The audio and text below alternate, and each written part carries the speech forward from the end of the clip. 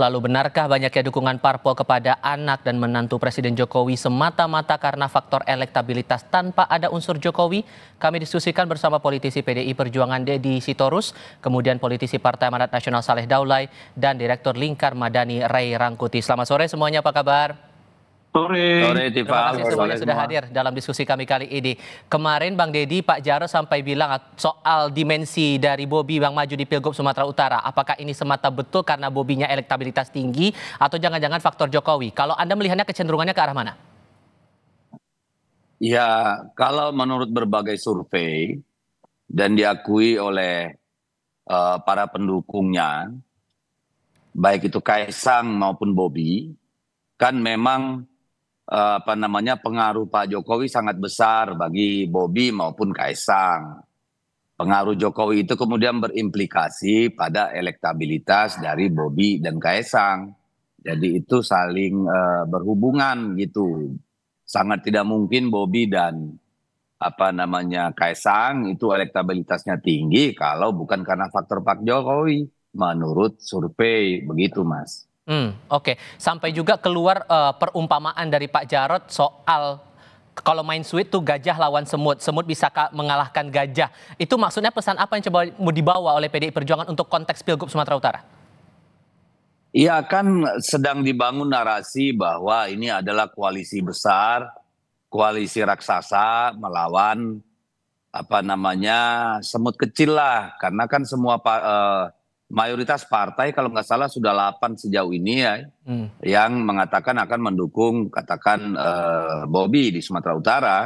Jadi konteksnya tentu ingin mengatakan bahwa uh, di sana boleh sombong karena besar, raksasa gitu ya. Tapi kan menurut pengalaman ini ya banyak juga yang uh, apa namanya underdog malah bisa menang seperti dialami Pak Jokowi waktu kita memenangkan beliau hmm. melawan Pak Foke pada pemilu gubernur tahun 2012 hmm.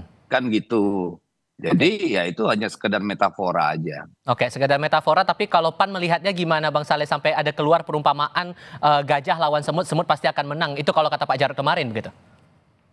Kalau Pan itu, saya perlu uh, menegaskan bahwa uh, kami itu sudah lama sebetulnya mendorong Bobi untuk maju sebagai uh, calon gubernur di Sumatera Utara.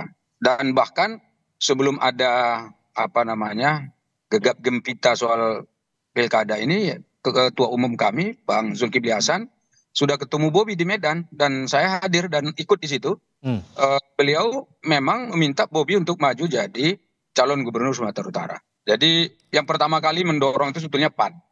Dan uh, pada waktu itu kita belum menghitung secara jelas ya soal survei-survei ini. Waktu itu belum ada survei lah. Hmm. Dan kita melihat bahwa Bobi ini eh, dari kalangan muda, representasi yang eh, saya kira paling banyak sekarang mayoritas pemilih-pemilih muda dan kita melihat juga prestasinya di di Medan sampai sejauh ini eh, alhamdulillah lumayan bagus gitu dan belum ada saya kira persoalan yang sangat fundamental di dalam kepemimpinannya selama memimpin kota Medan. Dan, dan itu semata karena misalnya, elektabilitas dan kerja saat menjadi wali kota atau ada faktor Jokowi juga yang dipertimbangkan PAN waktu itu? Kalau pada waktu itu kita tidak mempertimbangkan ada apa, apa namanya faktor Pak Jokowi karena waktu itu kita juga baru masuk di pemerintahan kan. Hmm. Jadi bukan justru karena Jokowi dan seterusnya bukan karena uh, dari awal pun ketika uh, Bobi maju untuk wali kota, PAN juga ikut mendukung. Jadi karena itu ini sebetulnya faktor-faktor yang saya kira uh, dinilai secara objektif. Belum lagi saudara Bobi ini kan adalah marga Nasution. Jadi hmm. dia asli Sumatera Utara. Okay. Secara kultural dan sosiologis ya Bobi ini mungkin ya sangat tepat untuk memimpin Sumatera Utara. Okay. Jadi uh, dan saya kira Bobi juga dikenal bukan hanya di Medan, hmm. tetapi juga di beberapa kabupaten lain yang saya tahu persis di dapil saya namanya Bobi ini sudah sangat dikenal. Baik. Jadi ini juga merupakan modal ya, okay. modal untuk maju di Pilkada Sumatera Utara gitu. Oke, okay. uh, eh, Bung Rey Anda melihatnya ini betulkah ya. semata karena faktor elektabilitas atau ada faktor Jokowi di sini? adalah faktor Pak Jokowi. Itu, itu nggak perlu lagi kita bantah. Tapi sedalam Kalau apa maknanya ini semua dengan banyaknya muncul nama anak dan juga menantu Jokowi di pilkada, terutama dukungan enam partai politik sejauh ini untuk Bobi di Sumatera Utara. Oke, Katanya tujuh. udah tujuh. Ya. Ya iya, adalah dukungan Pak dukungan adalah faktor Pak Jokowi, nggak bisa juga kita bantah. Karena elektabilitas Bobi itu kan belum tinggi-tinggi amat, masih di bawah 25 persen. Dan eh, selisihnya dengan Edi Rahmayadi itu masih di margin error. Sebetulnya kalau ngejarnya elektabilitas, Edi Rahmayadi sama Bobi itu sama elektabilitasnya, kira-kira gitu. Di kisaran 20, 22 gitu, persen gitu. Nah, apa yang mengakibatkan saudara Bobi lebih dipinang oleh eh, yang lain ketimbang uh, uh, Edi Rahmayadi? Ya, salah satu faktor penjelasnya itu ada faktor Pak Jokowi. Maka yang masuk ini kan hampir semua adalah partai-partai koalisi, koalisinya Pak Jokowi. Tentu ditambah dengan Nasdem, PKB juga masuk ke dalam gitu. Tapi hampir semua partai-partai pendukung Pak Jokowi ikut serta mendukung uh, apa namanya Bobi di Pilkada Sumatera Utara ini gitu. Oke, sampai Nah, kemarin Presiden juga faktor- bilang ketum parpol sudah pintar karena mendukung sosok yang elektabilitasnya tinggi. Sejauh mana Anda membaca itu? Iya, makanya kan saya katakan kalau elektabilitasnya tinggi, Edi Rahmayadi juga sama elektabilitasnya dengan eh, Dedi apa Bobi Nasution. Ah. Karena kan selisih di antara mereka kan cuma di margin error. Satunya 22, 23 gitu ya, yang lain 20, 21 gitu. Nah kan cuma di margin error tuh, di 2% itu. Artinya Bobi sama Edi tuh sama-sama tuh elektabilitasnya, kisaran di bawah 25%. Jadi kalau uh, misalnya pertimbangannya semata-mata elektabilitas, ya tentu Edi, ju- Edi juga lebih dimungkinkan karena Edi itu kan uh, petahana Hmm. dan umumnya petahana itu punya uh, daya jual tersendiri dibandingkan misalnya pendatang baru gitu ya. Segmentasinya juga ya katakanlah bisa dipolakan. Kalau Bobi itu mungkin mengambil Tapanuli Selatan kan ke sana gitu karena uh, punya basis marga marga kan. Hmm. Tapi kan Edi Rahmayadi punya basis di kawasan Medannya karena dia juga orang uh, Melayu kan. Nah kalau Melayu ini kan ada sampai saya kira nanti sampai ke Tapanuli Utara gitu. Apalagi kalau Edi Rahmayadi itu misalnya di backup oleh PDI Perjuangan ya dan seterusnya seterusnya gitu. Jadi kalau dilihat secara umum komposisinya ini masih sama kuat nih antara Edi Rahmayadi dan apa namanya itu Bobi Nasution gitu. Jadi kalau Pak Jokowi mengatakan elektabilitas eh, partai-partai ini udah lihat elektabilitasnya gitu, Oke. ya saya nggak tahu elektabilitas yang mana karena antara Bobi dengan Oke. eh, Edi Rahmayadi itu selisihnya cuma di margin error gitu. Mhm. Oke, kita coba lihat dimensi yang satu lagi. Nama Kaisang saat kemarin safari ke beberapa partai politik, eh, Bang Mhm. Saleh, sampai disambut sedemikian rupa. Bahkan dari Golkar pun bilang kita bakal menawarkan berpasangan dengan Yusuf Hamka untuk maju di Pilgub Jakarta. Ini semata-mata apakah karena memang faktor elektabilitas yang makin tinggi sekarang atau emang ada faktor Jokowi juga di balik itu, Bang Saleh? Jadi kalau menurut saya kayak khusus Kaisang ini, ini kan sebetulnya masih banyak simulasi di sini ya, uji coba. Jadi kalau digandengkan dengan misalnya pasangan A, maka hasilnya akan seperti ini. Kalau digandengkan dengan partai katakanlah misalnya PKS, maka hasilnya seperti ini dan seterusnya. Jadi simulasi-simulasi ini sebetulnya muncul. Jadi muncullah tanggapan-tanggapan dari katakanlah ya para pengamat misalnya menilai seperti ini gitu. Dan Ya tentu saja Kaisang sebagai anak presiden mungkin dikenal orang sebagai anak presiden itu nggak mungkin bisa kita hindari. Tetapi Kaisang ini itu kan juga adalah ketua umum partai politik yang uh, katakan mau mengambil kerja-kerja politik melalui jalur uh, apa namanya prosedur partai politik gitu loh. Jadi karena itu saya kira apa yang dikerjakan oleh Kaisang dengan berkunjung ke berbagai macam uh, partai politik ini adalah bagian dari kerendahan hati untuk bagaimana menjalin komunikasi uh, dan juga kerjasama dengan partai-partai yang ada gitu. Dan Hmm. kan belum final. Artinya ini kan belum uh, tentu pasangan ini yang akan didorong. Apalagi saya dengar sekarang malah Kaisang tuh namanya muncul di Jawa Tengah. Oke. Ya kan? Apakah nanti resminya di Jawa Tengah atau malah justru di, di, di- dipasangkan di Jakarta? Pan Eh, kecenderungannya tadi ke mana? usulan, usulan Pak Erlangga. Kalau Pan kecenderungannya Gimana? ke mana untuk Kaisang ini? Nah, kalau kami ya untuk sampai sekarang ini sebetulnya kami itu berkeinginan ag- bagaimana agar di Jakarta itu ya kami punya calon sendiri juga kan Oke. itu dari awal itu ya kami kan mendorong Ibu Zita Anjani nih Mhm. untuk jadi wakil gubernur.